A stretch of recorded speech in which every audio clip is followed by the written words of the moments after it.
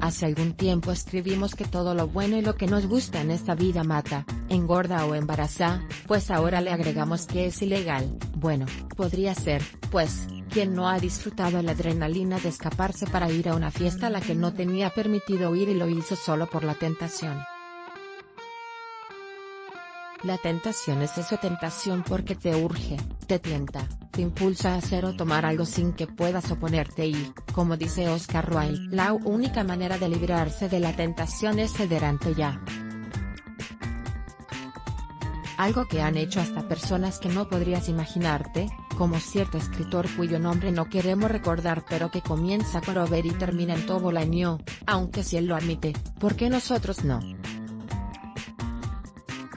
En una entrevista grabada en la Feria Internacional del Libro en 1999, Bolaño reconoció que, siendo joven, robó libros, señalando, yo veía cómo mis amigos robaban libros y sus bibliotecas iban creciendo, menos la mía. Entonces me decidí a entrar en el gremio de los ladrones, pero, luego de algunos fracasos, lo dejó, sin embargo, resaltó, yo creo que es algo que todos los jóvenes hacen y me parece, además, buenísimo que lo hagan.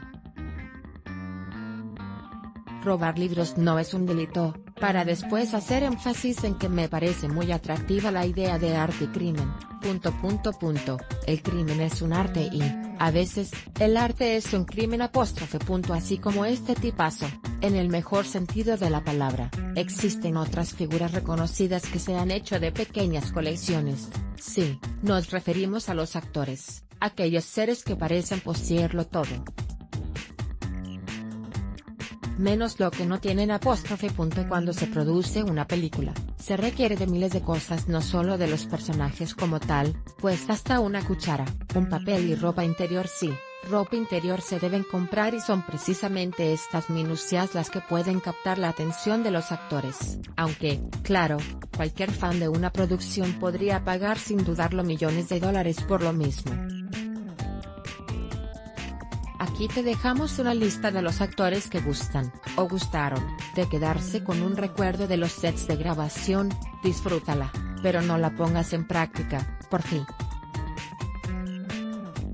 Dakota Johnson la protagonista de 50 Shades of Grey decidió llevarse un lazo como recuerdo de haber participado en esta interesante película, pues no cualquiera tiene acceso a tantos juguetitos apóstrofe. Ryan Reynolds Jan Reynolds, más que robar, exigió llevarse un traje de Deadpool, ahora lo conserva en un maniquí en el sótano de su casa. Robert Pattinson el famoso vampiro es conocido por robarse la ropa interior que le dan en los sets de grabación, alegando que es la más cómoda que ha usado en su vida. Jennifer Lawrence Jennifer Lawrence terminó llevándose la chaqueta y las botas de Katniss en Game y la verdad es que le quedan bastante bien. Chris Pratt usó su encanto y pidió que le regalaran la chaqueta de Star-Lord porque le quedaba muy bien y a cambio prometió usarla seguido para promocionar las películas de Guardians of the Galaxy. Daniel Radcliffe Daniel Radcliffe se llevó por accidente los lentes de Harry Potter, nadie se dio cuenta, hasta que llegó a su casa. Rupert Grint En el caso de Rupert fue diferente, pues pidió prestado uno de los huevos dorados de la película, esperando que nunca se lo pidieran de vuelta. Sin embargo, algunas semanas la producción le reclamó porque había costado muy caro el apóstrofe huevito apóstrofe.